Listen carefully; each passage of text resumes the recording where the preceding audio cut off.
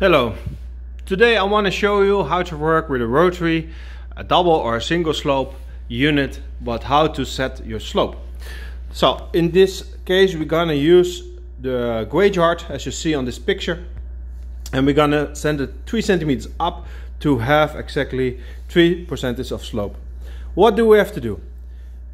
We're gonna stand 1 meter away from the rotary.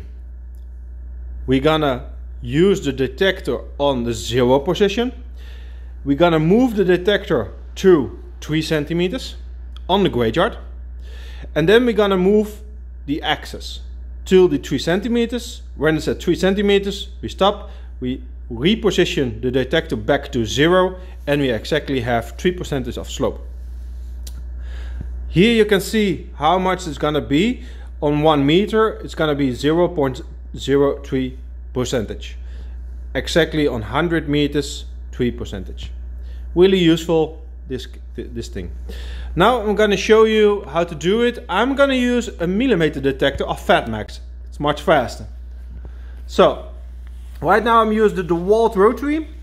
This is the DCE uh, 79 uh, wet beam. And as you see, there are two green lights. That means it is on automatically uh, and it's in tilt modus. To take it out of tilt modus, at first select one and twice. So I'm pressing on this button. Now it's on the uh, manually mode and you can see which axis. So it's in the I axis and to know which axis you're working on you have to look at the body. And the I axis is this one. I1, I2, X1, X2.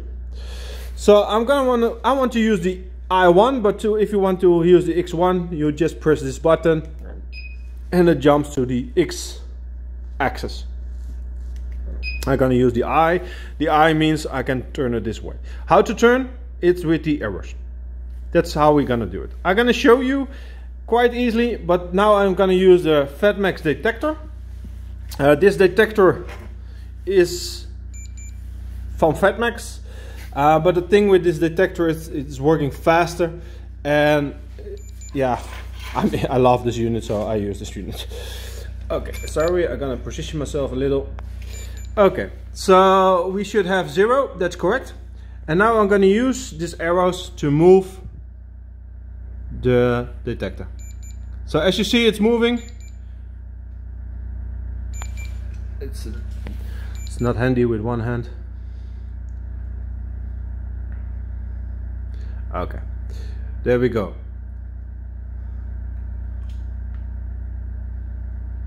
You can see it all, yeah.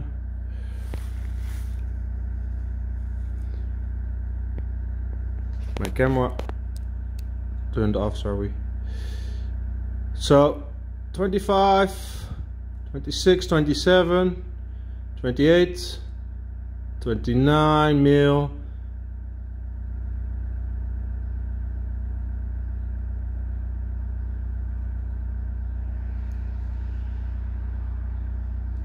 30.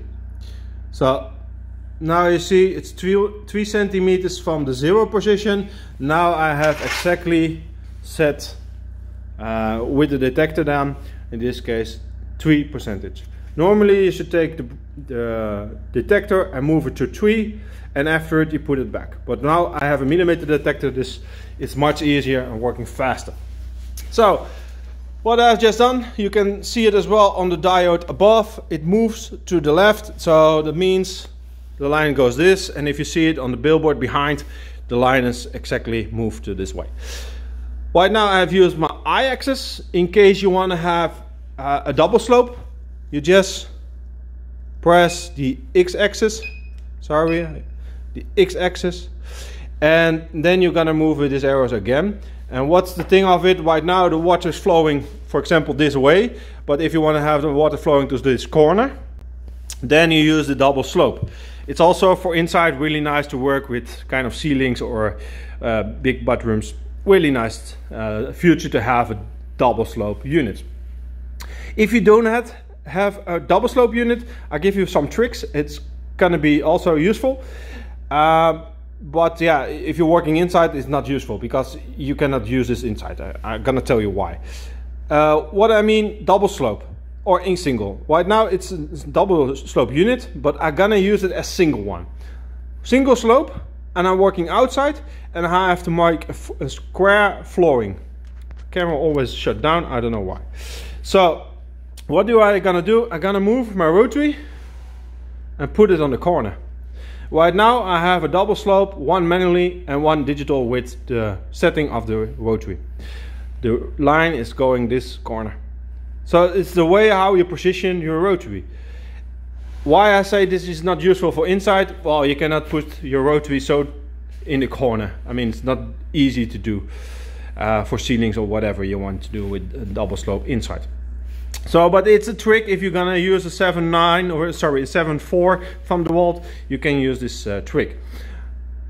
For the rest, these settings that I just showed you, like this, it's useful. All the brands are working the same. So this what you see over here, one percentage is gonna be one centimeter. And that means on 100 meter exactly 1%. If you're going up to 200 meters, it's gonna be a little bit more. And then you see it's jumping double. So it's logic, but not everybody knows. So that's why I got this video for you guys. I hope it's useful. If there are still questions, just let me know and I will make it for you. Thank you.